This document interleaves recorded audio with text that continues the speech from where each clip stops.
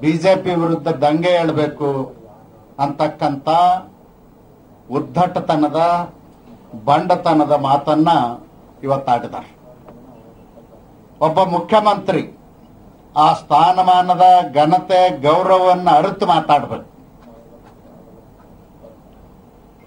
ಯಾರೋ ಸಂವಿಧಾನದತ್ತವಾಗಿ ಪ್ರಮಾಣ ವಚನ ಸ್ವೀಕಾರ ಮಾಡಿ ಈ ನಾಡಿನ ಆರೂವರೆ ಕೋಟಿ ಜನರ ರಕ್ಷಣೆಯನ್ನು ಮಾಡ್ತಾನೆ. ನಿಷ್ಪಕ್ಷಪಾತವಾಗಿ ನಡ್ಕೊಳ್ತೇನೆ. ಕಾನೂನು ಸುವ್ಯವಸ್ಥೆಯನ್ನ ಹದ್ದುಬಸ್ತಿನಲ್ಲಿ ಇಡ್ತೇನೆ ಅಂತ ಹೇಳಿ ಪ್ರಮಾಣ ವಚನ ಮಾಡಿದಂತ ಕುಮಾರಸ್ವಾಮಿ ಅವರು ಮುಖ್ಯಮಂತ್ರಿ ಸ್ಥಾನಕ್ಕೆ ಕುಂದು ಬರುವ ರೀತಿಯಲ್ಲಿ ಮಾತನಾಡಿದರು. ಒಬ್ಬ ಮುಖ್ಯಮಂತ್ರಿಯಾಗಿ ಆ ಸ್ಥಾನಮಾನದ ಘನತೆ, ಗೌರವಕ್ಕೆ ಧಕ್ಕೆ ಬರದ ರೀತಿಯಲ್ಲಿ ಮಾತನಾಡಬೇಕೆ ಹೊರತು ಗುಂಡಾಗಳ ತರ ಮಾತನಾಡಬಾರ್ದು. ನಾನು ಕೇಳ್ತೇನೆ ಮುಖ್ಯಮಂತ್ರಿಗಳಿಗೆ, ನೀವು ಈ ನಾಡಿನ ಜನತೆಗೆ ಕರೆ ಕೊಟ್ರಲ್ಲ, ಇದು ನಿಮ್ಮ ಸ್ಥಾನಮಾನಕ್ಕೆ, ನಿಮ್ಮ ವ್ಯಕ್ತಿತ್ವಕ್ಕೆ ಘನತೆ ತರುವಂತ ವಿಷಯನ ನೀವೇ ಆತ್ಮಾವಲೋಕನ ಮಾಡಿಕೊಳ್ಳಿ. ಒಬ್ಬ ಈ ನಾಡಿನ ಹಿರಿಯ ರಾಜಕಾರಣಿ, ಮಾಜಿ ಮುಖ್ಯಮಂತ್ರಿ ಯಡಿಯೂರಪ್ಪನವ್ರ ಮನೆ ಮುಂದೆ ಬಂದು ಜೆ ಡಿ ಎಸ್ ಮತ್ತು ಕಾಂಗ್ರೆಸ್ಸಿನ ಕೆಲವು ಗುಂಡಾಗಳು, ಅವ್ರನ್ನ ಕಾರ್ಯಕರ್ತರ ಹತ್ರ ಕರೆಯೋದಿಲ್ಲ ನಾನು. ಯಡಿಯೂರಪ್ಪನವ್ರ ಮನೆ ಮುಂದೆ ಗಲಾಟೆ ಮಾಡ್ತಾ ಇದ್ದಾರ. ಅವ್ರ ಮನೆಗೆ ನುಗ್ಗಲಿಕ್ಕೆ ಪ್ರಯತ್ನ ಮಾಡ್ತಾ ಇದ್ದಾರ. ಇವತ್ತೇನಾದ್ರೂ ನಮ್ಮ ಶಾಸಕರು, ಕೆಲವು ಕಾರ್ಯಕರ್ತರು ಯಡಿಯೂರಪ್ಪನವ್ರ ಮನೆಯಲ್ಲಿ ಇರದೇ ಹೋಗಿದ್ರೆ ಯಡಿಯೂರಪ್ಪನವ್ರ ಪ್ರಾಣ ತೆಗಿಲಿಕ್ಕೂ ಅವ್ರ ಹಿಂದೆ ಮುಂದೆ ನೋಡ್ತಿರ್ಲಿಲ್ಲ. ಆ ರೀತಿ ನಡ್ಕೊಂಡಿದ್ದಾರೆ. ನಮ್ಮ ಶಾಸಕರೇ ಸ್ವತಃ ಅಡ್ಡ ನಿಂತು ಅವ್ರನ್ನ ಹಿಮ್ಮೆಟ್ಟಿಸಿ ಕಳಿಸಿದಾರೆ ಪೊಲೀಸ್ ಅಧಿಕಾರಿಗಳು ಕೈ ಕಟ್ಟಿ ನೋಡ್ತಾ ನಿಂತಾರ. ಒಬ್ಬ ವಿಪಕ್ಷ ನಾಯಕನಿಗೆ, ಈ ನಾಡಿನ ಹಿರಿಯ ರಾಜಕಾರಣಿಗೆ, ಹಿಂದಿನ ಮುಖ್ಯಮಂತ್ರಿಗೆ ರಕ್ಷಣೆ ಕೊಡೋದು ಆಗ್ಲಿಲ್ಲ ಅಂದ್ರ ಪೊಲೀಸ್ ಇಲಾಖೆ ಸತ್ತಿದೆಯಾ ಅಥವಾ ಜೀವಂತಿದೆನಾ ಪ್ರಶ್ನೆ ಮಾಡ್ಬೇಕಾಗ್ತದೆ. ಪೊಲೀಸರು ಯಾರು ಗುಂಡಾಗಳಲ್ಲಿ ಬಂದು ದಾಂಧಲೆ ಮಾಡಿದ್ರು ಅವ್ರನ್ನ ಅರೆಸ್ಟ್ ಮಾಡಿ ಜೈಲಿಗೆ ಕಳಿಸ್ಬೇಕಾಗಿತ್ತು. ಕೈ ಕಟ್ಟಿ ನೋಡ್ತಾ ನಿಲ್ತಾರೆ. ಇದರ ಅರ್ಥ ಏನು? ಸರ್ಕಾರನೇ ಪ್ರಾಯೋಜಿತ ಈ ಪ್ರತಿಭಟನೆ ವ್ಯವಸ್ಥೆ. ಮುಖ್ಯಮಂತ್ರಿಗಳ ಕರೆ ಕೊಟ್ಟ ಮೇಲೆ ಏನ್ ನಾಡಿನಲ್ಲಿ ಯಾವ ರೀತಿ ಆಗಿರ್ಬೋದು, ಕಾನೂನು ಸುವ್ಯವಸ್ಥೆ ಯಾವ ರೀತಿ ಆಗ್ಬೋದು, ಅದಕ್ಕೆ ನಾನು ಪೊಲೀಸ್ ಇಲಾಖೆಗೆ ಆಗ್ರಹ ಮಾಡ್ತೇನೆ, ಸ್ವಯಂ ಪ್ರೇರಿತವಾಗಿ. ಇವತ್ತು ಸೆಕ್ಷ I P C section one fifty three ಪ್ರಕಾರ ಅಪರಾಧಿ ಯಾರ್ಯಾರಿದ್ದಾರೋ ಅವ್ರ ಮೇಲೆ ಕ್ರಮ ತಗೊಳ್ಬೇಕು. ಇವತ್ತು ಕರೆ ಕೊಟ್ಟವರು ಇವತ್ತು ಅಪರಾಧಿ ಆಗ್ತಾರೆ. ಅದಕ್ಕೆ ಅವ್ರ ಮೇಲೆ ಸ್ವಯಂ ಪ್ರೇರಣೆಯಿಂದ ಕೇಸ್ ರಿಜಿಸ್ಟರ್ ಮಾಡ್ತಕ್ಕಂತ ಕೆಲಸ ಮಾಡಬೇಕು ಅಂತ ನಾನು ಡೈರೆಕ್ಟರ್ ಜನರಲ್ ಆಫ್ ಪೊಲೀಸರವರಿಗೆ ಒತ್ತಾಯ ಮಾಡ್ತೀನಿ. ಎರಡನೇದ್ದು ಇವತ್ತು ಬೆಳಗ್ಗೆ ಪೇಪರ್ಗಳಲ್ಲಿ ಓದಿದ್ವಿ, ಮಾಧ್ಯಮದಲ್ಲಿ ನೋಡಿದ್ವಿ. ನಾನು ಈ ರಾಜ್ಯದ ಮುಖ್ಯಮಂತ್ರಿ ಇದ್ದೇನೆ. ನನ್ನ ಕೈಯಲ್ಲಿ ಎಲ್ಲ ಅಧಿಕಾರ ಇದೆ. ನಾನು ಏನು ಬೇಕಾದರೂ ಮಾಡಬಹುದು ಯಡಿಯೂರಪ್ಪನವ್ರಿಗೆ. ಅವರ ಹಿಂದಿನ ಪ್ರಕರಣಗಳನ್ನ ರೀಓಪನ್ ಮಾಡಿ. ಅವ್ರನ್ನ ಏನ್ ಬೇಕಾದರೂ ಮಾಡಬಹುದು ಅಂತಕ್ಕಂತ ಬೆದರಿಕೆ ಮಾತುಗಳನ್ನೇ ಆಡ್ತಾರಲ್ಲ ಮುಖ್ಯಮಂತ್ರಿಯಾಗಿ ಗೌರವ ತರ್ತಕ್ಕಂತ ಮಾತುಗಳಲ್ಲ. ಅದಕ್ಕೆ ನಾನು ಅವರಿಗೆ ಒತ್ತಾಯ ಮಾಡ್ತೇನೆ. ಇಂಥ ಬೆದರಿಕೆಗ ಮಾತುಗಳನ್ನ ಆಡೋದು ಬಿಡಿ. ನಿಮ್ಮ ಶಾಸಕರೇ ನಿಮ್ಮ ವಿರುದ್ಧ ಬಂದಿದ್ದಾರೆ ಕಾಂಗ್ರೆಸ್ನಲ್ಲಿ ಮೂರು ಗುಂಪುಗಳಾಗಿ ಶಾಸಕರು ಹೊಡೆದಾಡ್ತಾ ಇದ್ದಾರೆ. ಮಂತ್ರಿ ಮಂತ್ರಿಗಳ ವಿರುದ್ಧ ಕೆತ್ತಾಡ್ತಾ ಇದ್ದಾರೆ. ನಿಮ್ಮವ್ರನ್ನ ನೀವು ರಕ್ಷಣೆ ಮಾಡ್ಕೊಳ್ಳೋದು ನೀಗದಾನೆ. ಬಿಜೆಪಿ ಅವ್ರ ಕಡೆ ಬಟ್ ಮಾಡ್ತಕ್ಕಂತ ಕೆಲಸ ಬಿಡಬೇಕು ಅಂತ ನಾನು ನೇರವಾಗಿ ಕಾಂಗ್ರೆಸ್ ನಾಯಕರಿಗೆ ಮತ್ತು ಈ ರಾಜ್ಯದ ಮುಖ್ಯಮಂತ್ರಿಗಳಾದ ಕುಮಾರಸ್ವಾಮಿ ಅವರಿಗೆ ಹೇಳಲಿಕ್ಕೆ ಬಯಸ್ತೇನೆ. ನಿಮ್ಮ ಶಾಸಕರನ್ನ ನೀವು ರಕ್ಷಣೆ ಮಾಡ್ಕೊಳ್ಳಿಕ್ಕೆ ಆಗದೆ ಹೋದ್ರೆ ನೀವು ಆ ಸ್ಥಾನಮಾನದಿಂದ ಕೆಳಗಿಳಿಬೇಕು. ನೀಗದೆ ಹೋದ್ರೆ ಬಿಟ್ಟು ಕೊಡಬೇಕು. ಬೇರೆಯವ್ರ ಮೇಲೆ ಅಪಾದನೆ ಮಾಡತಕ್ಕಂತ ಕೀಳು ಮನಸ್ಥಿತಿಯನ್ನ ಬದಲು ಮಾಡ್ಕೋಬೇಕು ಅಂತ ಅವ್ರಿಗೆ ನೇರವಾಗಿ ಹೇಳಲಿಕ್ಕೆ ಬಯಸ್ತೇನೆ. ಮುಂದೆ ನೀವು ಮಾತಾಡ್ತೀರಿ ಅಶೋಕ್ ಅವ್ರು ನೀವು ಬರ್ರಿ ನಾ ಆ ಬರ್ತೇನೆ ಬರ್ತಾನೆ. ಬನ್ನಿ ಬರ್ರಿ ಪ್ಲೀಸ್ ಬರ್ರಿ ನೀವು ಬರ್ರಿ ಮಾತಾಡಲಿ ನಾ ಮಾತಾಡ್ತೇನೆ. ನೀವು ಬನ್ನಿ. ಅಲ್ಲಿ ಎಲ್ಲಿ ಎದ್ದು ಬನ್ನಿ? ಎದ್ದು ಬನ್ನಿ. ಇನ್ನೂ ವಿಷಯ ನಾವು ಮಾತಾಡ್ತಾರೆ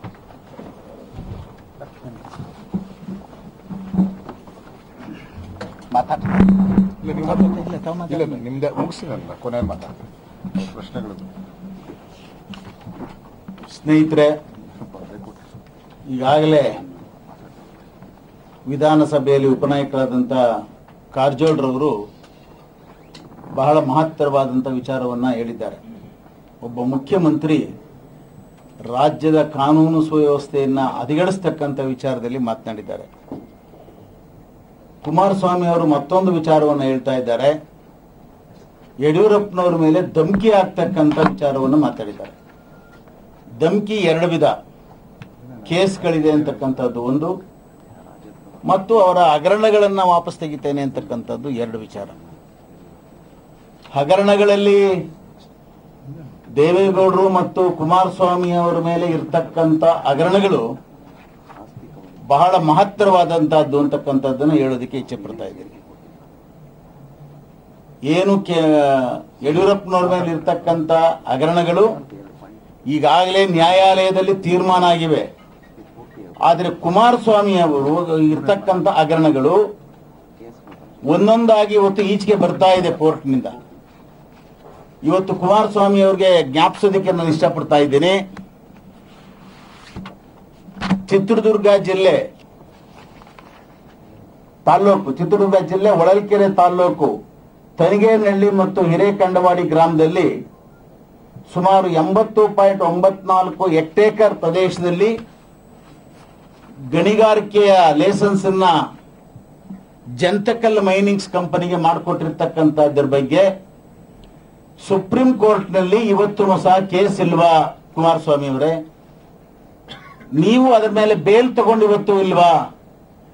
ಬೇಲ್ ತೆಗೆದುಕೊಳ್ಳದೆ ಇದ್ ಬೇಲ್ ಸಿಗದೇ ಇದ್ರೆ ನಿಮ್ಗೆ, ನೀವು ಎಲ್ಲಿರ್ತಾ ಇದ್ರಿ ಇವತ್ತಿನ ದಿವಸ? ಜೈಲಿನಲ್ಲಿ ಇರಬೇಕಾಗಿತ್ತು ಅದರ ಹಿನ್ನೆಲೆ ಏನು? ಸಾವಿರದ ಒಂಬೈನೂರ ಎಂಬತ್ತೈದರಲ್ಲಿ ಗಣಿಗಾರಿಕೆ ಲೈಸೆನ್ಸ್ ಎಕ್ಸ್ಪೈರ್ ಆಗಿದೆ. ರಾಮ್ ಇವರು ಧರ್ಮಸಿಂಗ್ ಅವರು ಮತ್ತು ಇನ್ನಿತರ ಇಬ್ಬರು ಮುಖ್ಯಮಂತ್ರಿಗಳು ನವೀಕರಣವನ್ನ ಅದು ಫೋರ್ಜರಿ ಕಂಪನಿ ಅಂತೇಳಿ ರೆಫ್ಯೂಸ್ ಮಾಡಿದ್ದಾರೆ. ಆ ರೆಫ್ಯೂಸ್ ಮಾಡಿದ್ದನ್ನ ಎರಡ್ ಸಾವಿರದ ಐದರಲ್ಲಿ ದಾಖಲಾತಿಗಳನ್ನ ಇಲ್ಲದೇನೆ ಎರಡ್ ಸಾವಿರದ ನಾಲ್ಕು ಐದರಲ್ಲಿ ಸಾವಿರದ ಒಂಬೈನೂರ ಎಂಬತ್ತೈದರಿಂದ ಎರಡು ಸಾವಿರದ ಇಪ್ಪತ್ತೈದರವರೆಗೆ ಅಂದ್ರೆ ನಲವತ್ತು ವರ್ಷಗಳ ಕಾಲ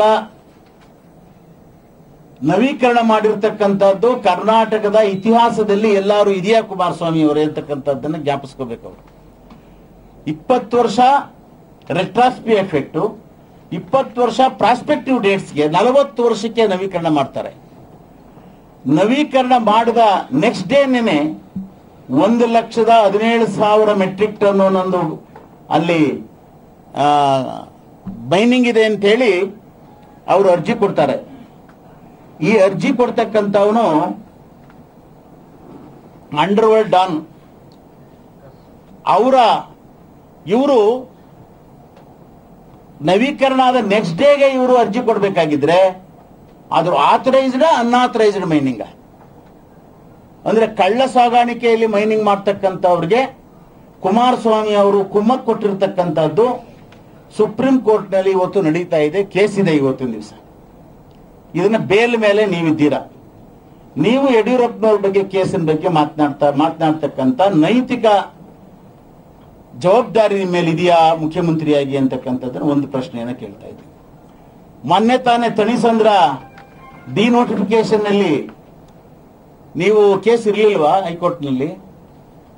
ನೀವು ಬೇಲ್ ತಗೊಂಡಿರ್ಲಿಲ್ವಾ ಅದರಲ್ಲಿ? ಮುಖ್ಯಮಂತ್ರಿ ಆದ ದಿವಸನೇ ಬೇಲ್ ತಗೊಂಡ್ರಿ ನೀವು? ತಗೊಳ್ಳದೆ ಏನಾಗ್ತಾ ಇತ್ತು? ಹಾಗೆ, ಅಷ್ಟೇ ಅಲ್ಲ, ಇನ್ನೂ ಹತ್ತಾರು ಕೇಸ್ಗಳಿದೆ. ಅದನ್ನು ಅವರು ಬೇಕು ಅಂತ ಹೇಳಿದ್ರೆ ಎಲ್ಲವನ್ನೂ ಸಹ ಪುನಃ ಅವರಿಗೆ ಜ್ಞಾಪಿಸೋದಕ್ಕೆ ಪ್ರಯತ್ನ ಮಾಡ್ತೀವಿ. ಮತ್ತು ಸಾಯಿ ವೆಂಕಟೇಶ್ವರ ಎಂಟರ್ಪ್ರೈಸಸ್ ಸಾಯಿ ವೆಂಕಟೇಶ್ವರ ಎಂಟರ್ಪ್ರೈಸಸ್ನಲ್ಲಿ ಐನೂರ ನಲವತ್ತಾರು ಎಕರೆ ಹೆಕ್ಟೇಕರ್ ಗಣಿಗಾರಿಕೆಯನ್ನ ಕಾನೂನು ಬಾಹಿರವಾಗಿ ಮಾಡಿರ್ತಕ್ಕಂಥದ್ದು ಸಹ ಸುಪ್ರೀಂ ಕೋರ್ಟ್ನಲ್ಲಿ ಕೇಸ್ ಇದೆ ಕುಮಾರಸ್ವಾಮಿ ಅವರ ಮೇಲೆ. ಅದರಲ್ಲೂ ಬೇಲ್ ತಗೊಂಡಿದ್ದಾರೆ ಅವರು. ಆದ್ರಿಂದ ನೀವು ಯಾವ ನೈತಿಕತೆಯಿಂದ ಈ ಮಾತನ್ನ ಹೇಳ್ತಾ ಇದ್ದಾರೆ ಅಂತಕ್ಕಂಥದ್ದನ್ನು ನಾನು ಅವರಿಗೆ ಪ್ರಶ್ನೆ ಮಾಡ್ತೇನೆ. ಬಿ ಎಸ್ ಯಡಿಯೂರಪ್ಪನವ್ರ ಮೇಲೆ ಇರ್ತಕ್ಕಂಥ ಕೇಸು ಖುಲಾಸೆಯಾಗಿದೆ. ನಿಮ್ಮ ಮೇಲೆ ಇರ್ತಕ್ಕಂಥ ಕೇಸ್ಗಳು ಇನ್ಮೇಲೆ ಮೇಲೆ ನೀವು ಮುಖ್ಯಮಂತ್ರಿಯಾಗಿ ನ್ಯಾಯಾಲಯವನ್ನ ಮೀರಿ ನೀವೇನು ಆರ್ಡರ್ ಮಾಡ್ಕೊಳಕ್ಕಾಗಲ್ಲ. ನ್ಯಾಯಾಲಯ ಇದೆ, ನ್ಯಾಯಾಲಯ ಇನ್ಮೇಲೆ ನಿಮ್ಮ ಮೇಲೆ ಕ್ರಮ ತೆಗೆದುಕೊಳ್ಳೋದಕ್ಕೆ ಪ್ರಾರಂಭ ಆಗಿದೆ, ಒಂದೊಂದಾಗಿ ಬರ್ತವೆ ಇನ್ಮೇಲೆ ಅಂತಕ್ಕಂಥದ್ದನ್ನ ಜ್ಞಾಪಿಸ್ತಾ ಇದ್ದೀನಿ. ಮತ್ತು ಎ. ಮಂಜೂರ್ ಅವರು ಒಂದು ಭೂ ಕಬಳಿಕೆ ವಿಚಾರದಲ್ಲಿ ರೇವಣ್ಣವರ ಮಗ ಅಫ್ಜಲ್ ಇವರಿಗೆ ಪ್ರಜ್ವಲ್ ರೇವಣ್ಣನಿಗೆ ವರ್ಗಾವಣೆ ಮಾಡಿರ್ತಕ್ಕಂಥದ್ದು ಕೇಳಿದ್ದಾರೆ. ನಾನು ಈ ಸಂದರ್ಭದಲ್ಲಿ ಒಂದು ವಿಚಾರ ಹೇಳೋದಕ್ಕೆ ಇಷ್ಟಪಡ್ತೀನಿ. ಕರ್ನಾಟಕ ರಾಜ್ಯದಲ್ಲಿ ಸರ್ಕಾರಿ ಜಮೀನನ್ನ ಕಬಳಿಸ್ತಕ್ಕಂಥದ್ರಲ್ಲಿ ದೇವೇಗೌಡರು ಮತ್ತು ದೇವೇಗೌಡರ ಮಕ್ಕಳಿಗೆ ಪಿ ಎಚ್ ಡಿಯನ್ನ ಕೊಡಬೇಕು. ಕಾರಣ ಏನು ಅಂತ ಹೇಳಿದ್ರೆ, ಹೇಗೆ ಸರ್ಕಾರಿ ಜಮೀನನ್ನ ವಶಪಡಿಸ್ಕೊಳ್ತಕ್ಕಂಥದ್ದಕ್ಕೆ ಅವ್ರದೇ ಆದಂತ ಕಾನೂನುಗಳನ್ನ ಸೃಷ್ಟಿಸ್ತಾರೆ ಅಂತಕ್ಕಂಥದ್ದಕ್ಕೆ ಸಾಕ್ಷಿ ಇದೆ. ಇವತ್ತು ಏರ್ ಮಂಜು ಅವರಲ್ಲಿ ಇರ್ತಕ್ಕಂಥದ್ದು ಒಬ್ಬ ಲ್ಯಾಂಡ್ಲೆಸ್ ಪೀಪಲ್ಗೆ ಜಮೀನನ್ನು ಅಲಾಟ್ ಮಾಡಿ ಅವ್ರಿಗೆ ರಿಜಿಸ್ಟ್ರೇಷನ್ ಮಾಡಿಸ್ಕೊಂಡಿದ್ದಾರೆ ಪ್ರಜ್ವಲ್ ರೇವಣ್ಣನಿಗೆ ಅಂತ ಅದೇ ರೀತಿ ಒಳೆ ನರಸೀಪುರ, ಪಡವಲ ಹಿಪ್ಪೆ, ಹಳೆ ಹಳೆ ಹಳೆ ಹಳೆ ಮೇಟಿನ ಒಂದು ನಿಮಿಷ. ಎಲ್ಲ ಇದೆ, ಒಂದು ನಿಮಿಷ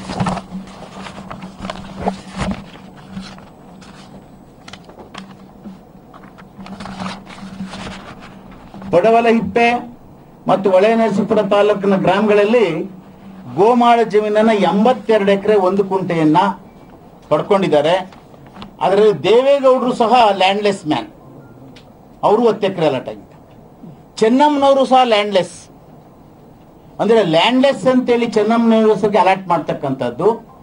ಅನಂತರ ಅದನ್ನ ರೇವಣ್ಣ, ರೇವಣ್ಣನ ಮಕ್ಕಳಿಗೆ ವರ್ಗಾವಣೆ ಮಾಡ್ತಕ್ಕಂಥದ್ದು. ಅದಾದ್ಮೇಲೆ ಪುನಃ ಚೆನ್ನಮ್ಮನವ್ರ ಹೆಸರಿಗೆ ಲ್ಯಾಂಡ್ಲೆಸ್ ಅಂತೇಳಿ ಅಪ್ಲಿಕೇಶನ್ ಕೊಡ್ತಕ್ಕಂಥದ್ದು, ಪುನಃ ಅಲರ್ಟ್ ಮಾಡ್ತಕ್ಕಂಥದ್ದು, ಪುನಃ ಅದನ್ನ ವರ್ಗಾವಣೆ ಮಾಡ್ತಕ್ಕಂಥದ್ದು. ಮತ್ತು ದೇವೇಗೌಡರು ಸಹ ನಾನು ಲ್ಯಾಂಡ್ಲೆಸ್ ಮ್ಯಾನ್ ಅಂತೇಳಿ ಹತ್ತು ಅಲರ್ಟ್ ಮಾಡಿಸ್ಕೊಂಡಿರ್ತಕ್ಕಂಥದ್ದು ದಾಖಲೆಗಳಿದೆ. ಇದರಲ್ಲಿ ಶಾಂತಕುಮಾರಿ ಅವರು ಡಿವಿಷನಲ್ ಕಮಿಷನರು ಒಂದು ರಿಪೋರ್ಟರ್ನ ಕೊಟ್ಟಿದ್ದಾರೆ ಎನ್ಕ್ವೈರಿ ರಿಪೋರ್ಟರ್ನ ಇದೊಂದು ಡೇ ಲೈಟ್ ರಾಬರಿ ಹಗಲು ದರೋಡೆಯನ್ನ ಮಾಡಿದ್ದಾರೆ ಇದರಲ್ಲಿ ಎಲ್ಲಾ ಕಾನೂನುಗಳನ್ನ ವೈಲೇಟ್ ಮಾಡಿದ್ದಾರೆ. ಇದಕ್ಕೆ ದೇವೇಗೌಡರ ಬ್ಯಾಕ್ ಗ್ರೌಂಡ್ ಇದೆ ಇದರಲ್ಲಿ ಅಂತಕ್ಕಂಥದ್ದನ್ನು ಹೇಳಿದ್ದಾರೆ. ಮತ್ತು ರಾಮನಗರದ ಹತ್ರ ಕೇತ್ಗಾನಹಳ್ಳಿ ರಾಮನಗರ ತಾಲೂಕು ಕೇತ್ಗಾನಹಳ್ಳಿನಲ್ಲಿ ಪರಿಶಿಷ್ಟ ಜಾತಿ, ಪರಿಶಿಷ್ಟ ವರ್ಗಗಳಿಗೆ ಸೇರಿದಂತಹ ನಲವತ್ತಾರು ಎಕರೆ ಜಮೀನನ್ನ ಕಾನೂನು ಬಾಹಿರವಾಗಿ ಇದೇ ರೀತಿ ಲ್ಯಾಂಡ್ಲೆಸ್ ಪೀಪಲ್ ಅಂತೇಳಿ ಅಲಾಟ್ ಮಾಡಿಸೋದು. ಅದನ್ನ ಇವರು ವರ್ಗಾವಣೆ ಮಾಡಿಕೊಡ್ತಕ್ಕಂಥದ್ದು. ಇದಕ್ಕೆ ದಾಖಲೆಗಳಿದೆ, ಈಗಾಗಲೇ ಒಂದ್ಸಾರಿ ಬಿಡುಗಡೆ ಮಾಡಿದ್ದೀನಿ. ಕುಮಾರಸ್ವಾಮಿ ಅವ್ರಿಗೆ ಏನಾದರೂ ಬೇಕು ಅಂದ್ರೆ ಜ್ಞಾಪಕಕ್ಕೆ ಪುನಃ ಬಿಡುಗಡೆ ಮಾಡೋದಕ್ಕೆ ಸರ್ವೆ ನಂಬರು, ಡೀಟೇಲ್ಸ್ ಎಲ್ಲ ಕೊಡೋದಕ್ಕೆ ತಯಾರಾಗಿದ್ದೀನಿ. ಹಾಗೆ, ಇವರು ಲ್ಯಾಂಡ್ ಅನ್ನ ಮಾಡ್ತಕ್ಕಂಥದ್ರಲ್ಲಿ ಲ್ಯಾಂಡ್ ಅನ್ನ ವರ್ಗಾವಣೆ ಮಾಡಿಕೊಡ್ತಕ್ಕಂಥದ್ರಲ್ಲಿ ಮತ್ತು ಆ, ಆ, ಅದು ಇದರಲ್ಲಿ ಜಂತಕಲ ಮೀನಿಂಗ್ಸ್, ಬಡೇರಿ ಅಧಿ, ಅಧಿಕಾರಿ. ಬಡೇರಿಯ ಅಧಿಕಾರಿಗಳಿಗೆ ಯಾವ ರೀತಿ ಮಾಡಿದ್ರು ಅಂತ ಹೇಳ್ತೀನಿ ಅದನ್ನು. ಇವರು ಲ್ಯಾಂಡ್ ಅನ್ನ ಹೊಡಿತಕ್ಕಂಥದ್ರಲ್ಲಿ, ವರ್ಗಾವಣೆ ಮಾಡ್ಕೊಳ್ತಕ್ಕಂಥದ್ರಲ್ಲಿ ಅವ್ರದೇ ಆದಂತ ಒಂದು ಕಾನೂನನ್ನ ಸೃಷ್ಟಿ ಮಾಡಿಕೊಂಡಿರ್ತಕ್ಕಂಥದ್ದು ಕರ್ನಾಟಕದ ಇತಿಹಾಸದಲ್ಲಿ ಎಲ್ಲೂ ಇಲ್ಲ. ಆದ್ರಿಂದ ಅವ್ರಿಗೆ ಪಿ ಎಚ್ ಡಿಯನ್ನು ಕೊಡಬೇಕು ಅಂತಕ್ಕಂಥ ಮಾತನ್ನು ಹೇಳಿರ್ತಕ್ಕಂಥದ್ದು ಅದಕ್ಕೋಸ್ಕರ ನಾನು. ಈ ಜಂತ್ಕಲ್ ಮೈನಿಂಗ್ನಲ್ಲಿ ಬಡೇರಿಯಾ ಅವನೊಬ್ಬ ಬಡಪಾಯಿ ಮಾಡಿದ್ದಾರೆ. ಬಡೇರಿಯಾಗೆ ಪ್ರೆಸರೈಸ್ ಮಾಡಿ ಆ ಜಮೀ ಲೇಸನ್ಸನ್ನು ರಿನ್ಯೂ ಮಾಡಿಸಿದ್ದಾರೆ. ನಲವತ್ತು ವರ್ಷಕ್ಕೆ ರಿನ್ಯೂ ಮಾಡಿದ್ದಾರೆ. ಮತ್ತು ಸಾಯಿ ವೆಂಕಟೇಶ್ವರ ಎಂಟರ್ಪ್ರೈಸಸ್ನಲ್ಲಿ ಐನೂರ ನಲವತ್ತಾರು ಎಕರೆಯನ್ನ ಸರೆಂಡರ್ ಆಗಿರೋ ಜಮೀನನ್ನ ಗಣಿಯ ಆಕ್ಟ್ ಆಕ್ಟ್ಗೆ ವಿರುದ್ಧವಾಗಿ ಬೇರೆಯವರಿಗೆ ಅಲರ್ಟ್ ಮಾಡಿರ್ತಕ್ಕಂಥದ್ದು ನೇರ ಕುಮಾರಸ್ವಾಮಿ ಅವರೇ ಆರ್ಡರ್ ಮಾಡಿದ್ದಾರೆ ಅದನ್ನು. ಅದು ದಾಖಲೆಗಳಿದೆ. ಅದು ಕೇಸ್ ಇದೆ. ಅದರಿಂದ ಕುಮಾರಸ್ವಾಮಿ ಅವರು ಮುಖ್ಯಮಂತ್ರಿ ಆಗಿದ್ದೇನೆ. ನನ್ನ ಮೇಲೆ ಇರ್ತಕ್ಕಂಥ ಕೇಸ್ಗಳನ್ನೆಲ್ಲ ಮುಚ್ಚಾಕೊಳ್ಬಹುದು ಬೇರೆಯವ್ರ ಮೇಲೆ ಇರ್ತಕ್ಕಂಥದ್ದನ್ನೆಲ್ಲ ಈಚೆ ತೆಗಿಬಹುದು.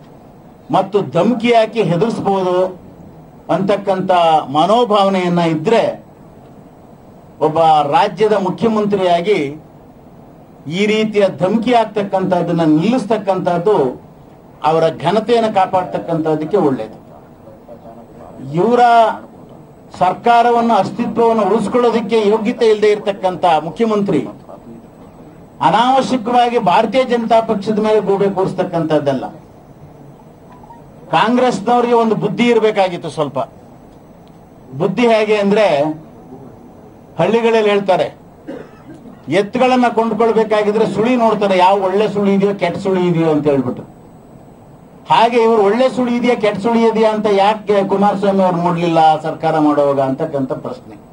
ಯಾಕೆ ಅಂದ್ರೆ, ದೇವೇಗೌಡರಿಗೆ ಅನುಭವ ಆಗಿತ್ತಾಗ್ಲೇನೆ. ಕಾಂಗ್ರೆಸ್ನವರ ಕೆಟ್ಟ ಸುಳಿ ಆಲೆ ಅನುಭವ ಆಗಿತ್ತು. ಅನುಭವ ಆಗಿದ್ರೂ ಸಹ, ಅದೇ ಜನದ ಹತ್ರ ಇವರು ಹೋಗಿ ಸಹವಾಸವನ್ನು ಮಾಡಿ, ಅವರು ಇವತ್ತಿನ ದಿವಸ ಇವ್ರಿಗೆ ಕೊಡ್ತಾ ಇರ್ತಕ್ಕಂಥ ತೊಂದರೆಗೆ, ಅವರವರ ಇಂಟರ್ನಲ್ ಟ್ರಬಲ್ಗೆ ಭಾರತೀಯ ಜನತಾ ಪಾರ್ಟಿ ಮೇಲೆ ಬುಗುಪೆ ಕೂರಿಸ್ತಕ್ಕಂಥದ್ದಾಗ್ಲಿ, ಅಲ್ಲಿನ ಎಂ ಎಲ್ ಎಗಳನ್ನ ತಿರಸ್ಕಾರ ಭಾವನೆಯಿಂದ ಕಂಡ ಕಂಡಿರೋದಕ್ಕೋಸ್ಕರ, ಅವ್ರಿಗೆ ಆಗಿರ್ತಕ್ಕಂಥ ಮಾನಸಿಕ ಹಿಂಸೆಯನ್ನು ಸಹಿಸಿಕೊಳ್ಳೋದಕ್ಕೋಸ್ಕರ ಎಂ ಎಲ್ ಎಗಳೇನಾದ್ರು ಬೇರೆ ರೀತಿಯಲ್ಲಿ ವರ್ತನೆಯನ್ನು ಮಾಡಿದ್ರೆ, ಭಾರತೀಯ ಜನತಾ ಪಾರ್ಟಿಯನ್ನು ದೂಷಿಸ್ತಕ್ಕಂಥದ್ದು ಸರಿಯಿಲ್ಲ. ಕುಮಾರಸ್ವಾಮಿ ಅವ್ರಿಗೆ ಸ್ವಲ್ಪ ಮೈಂಡ್ ಡಿಸ್ಟರ್ಬ್ ಆಗಿದೆ ಅಂತ.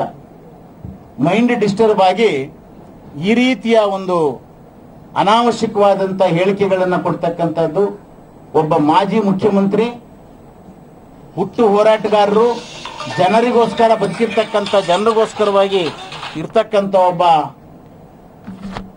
ಜನನಾಯಕನ ವಿರುದ್ಧ ಲಘುವಾಗಿ ಮಾತನಾಡ್ತಕ್ಕಂಥದ್ದನ್ನ ನಿಲ್ಲಿಸಬೇಕು. ಇವತ್ತು ಅವರೇನು ಹೇಳಿದ್ದಾರೆ. ನಮ್ಮ ನಮ್ಮ ನಾಯಕರು ಹೇಳಿದಾಗೆ ತಕ್ಷಣ ಡಿಜಿ ಅವ್ರಿಗೆ ಏನಾದರೂ ಸಹ, ಡಿಜಿ ಅವ್ರಿಗೆ ಏನಾದರೂ ಸಹ ಕಾನೂನಿನ ಬಗ್ಗೆ ಗೌರವ ಇದ್ರೆ ನೂರ ಐವತ್ ಮೂರು ಸಿ ಆರ್ ಪಿ ಕೆಳಗಡೆ ಇವತ್ತೇ ಕೇಸ್ ಬುಕ್ ಮಾಡ್ಬೇಕು ಅವರು. ಯಾಕೆಂದ್ರೆ ಇದು ಕಾನೂನು ಭಂಗದ ವಿಚಾರ, ಪ್ರಚೋದನೆಯ ವಿಚಾರ. ಇಷ್ಟನ್ನ ಹೇಳಿ ನಾನು ನಮ್ಮ ನಾಯಕರಾದಂಥ ಅಶೋಕ್ರವರು ಅಶೋಕ್ ರವರು ಮಾತನಾಡ್ತಾರೆ. ಮಾಧ್ಯಮದ ಸ್ನೇಹಿತರೆ.